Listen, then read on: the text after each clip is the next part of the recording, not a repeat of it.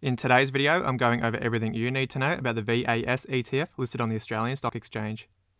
Hi everyone and welcome to the series on exchange traded funds or ETF investing, where I look into specific ETFs and show everything you need to know about the product offering before buying shares of the fund.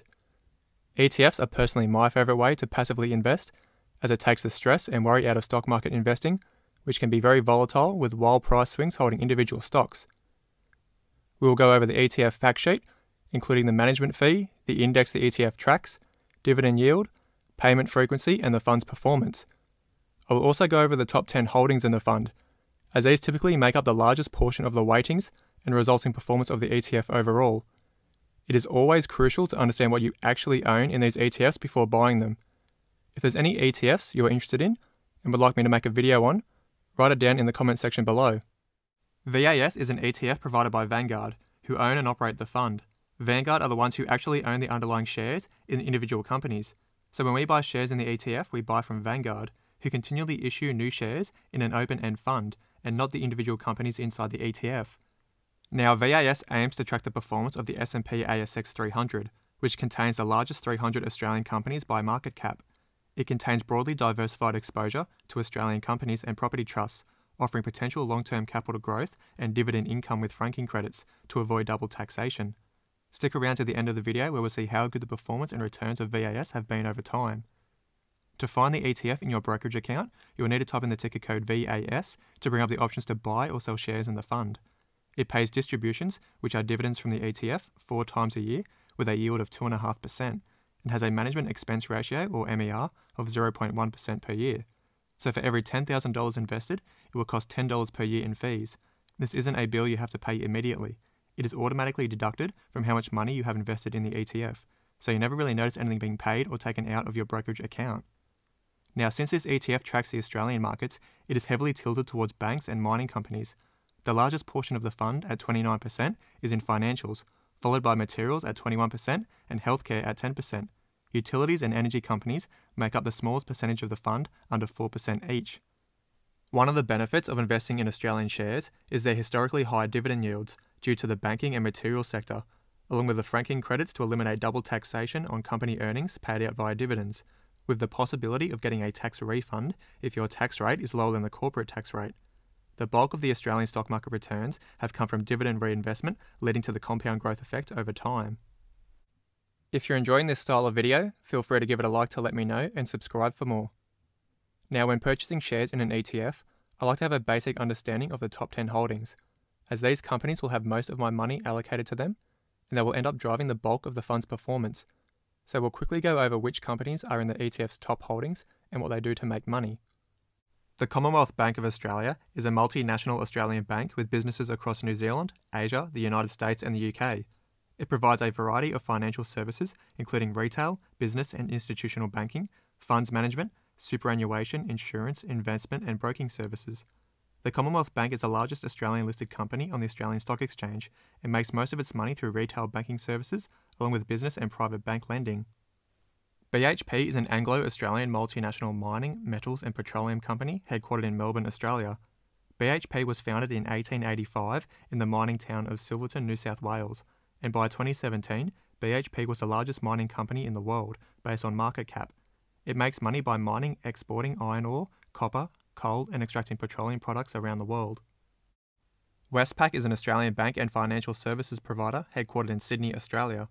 Established in 1817 as the Bank of New South Wales, it acquired the Commercial Bank of Australia in 1982, before being renamed shortly afterwards. It is one of Australia's big four banks and is Australia's first and oldest banking institution. It makes money from the provision of financial services, including lending, foreign exchange, superannuation funds, investment portfolio management, and insurance services.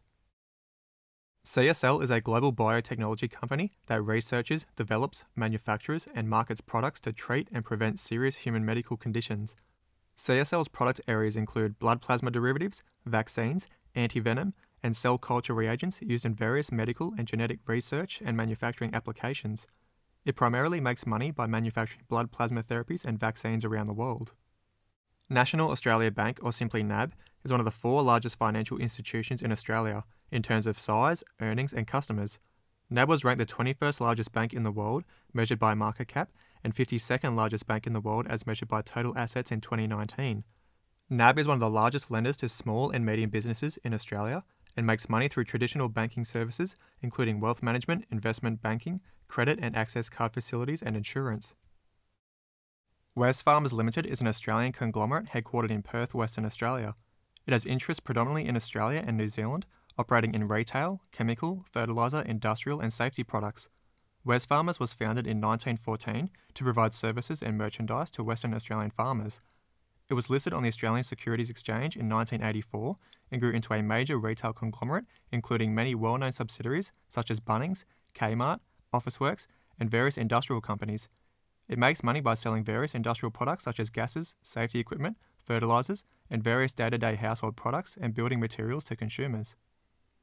The Australia and New Zealand Banking Group Limited, commonly called ANZ, is an Australian multinational banking and financial services company headquartered in Melbourne, Australia. ANZ was established in 1951 when the Bank of Australasia merged with the Union Bank of Australia Limited. It is one of the big four Australian banks, and Australian operations make up the largest part of ANZ's business, with commercial and retail banking dominating. ANZ is also the largest bank in New Zealand. It makes money by lending to retail customers and businesses, along with investment banking, insurance, credit, and access card facilities. Woolworths, also known as Woolies, is an Australian chain of supermarkets and grocery stores owned by Woolworths Group. Founded in 1924, Woolworths today is Australia's biggest supermarket chain with a market share of 33% as of 2019. Woolworths specialises in groceries whilst also selling liquor, magazine, health and beauty products, along with household products, pet and baby supplies, plus stationery from its well known subsidiaries, including Big W, BWS, and Dan Murphy's, which is where it makes all of its money. Macquarie Group is an Australian multinational independent investment bank and financial services company. Headquartered and listed in Australia, it is the world's largest infrastructure asset manager and Australia's top ranked mergers and acquisition advisor, with more than $600 billion in assets under management. Macquarie generates much of its revenue from divisions that generate annuity style income. Those divisions include asset management, corporate asset finance, and banking, generating more than 70% of revenues, which means Macquarie is less affected by market movements, economic cycles, and other adverse external events. Rio Tinto is an Anglo Australian multinational and the world's second largest metals and mining corporation, behind BHP, producing iron ore, copper, diamonds, gold, and uranium. The company was founded in 1873 when a multinational consortium of investors purchased a mine complex on the Rio Tinto in Spain from the Spanish government. Since then, the company has grown through a long series of mergers and acquisitions to place itself among the world leaders in the production of many commodities, including aluminium, iron ore, copper, uranium, and diamonds. Although primarily focused on extraction of minerals, Rio Tinto also has significant operations in refining, particularly for refining bauxite and iron ore. It makes money by mining, processing, and exporting these commodities around the world. Now, ETFs are considered to be low risk investments because they are low cost and hold a basket of stocks or other securities, increasing diversification. For most individual investors, ETFs represent an ideal type of asset which builds a diversified portfolio. Still, unique risks can arise from holding ETFs, as well as other special considerations paid to taxation depending on the type of ETF. Since inception, VAS has had an average annualized return of 9.5% and a cumulative return of 195%, which goes to show the power of dividend reinvestment and compound interest keeping the money invested growing faster over longer periods of time. Now, of course, past performance is no guarantee of future performance, but it's always a good sign of consistently improving business fundamentals, continually driving each individual stock higher within the ETF. I prefer to look at the cumulative returns as it includes the dividends paid to shareholders, which should always be included as we're getting some value back, plus with the dividends reinvested, this is what provides the compounding effect, exponentially increasing our returns the longer we have our money invested in the fund. This is the sort of approach I take investing for the very long term using ETFs and one day live off the investment portfolio as passive income through either dividends or selling down small parts of the position, but maintaining the bulk of the capital. If you want to see how these companies make money in detail, watch the playlist shown in the end screen. Let me know in the comments what you think of this ETF and whether you currently own any shares or plan to buy. If you enjoyed the video, leave a like and subscribe to the channel for more investing and Tesla videos. Thank you for watching and I'll see you in the next one.